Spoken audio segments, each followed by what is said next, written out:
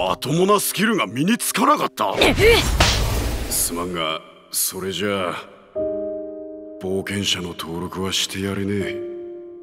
俺には才能がなかった。それでも。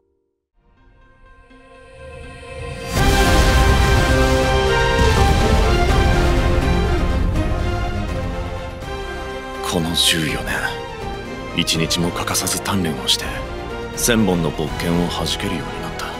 これ以上は贅沢かもしれないな。見つけました。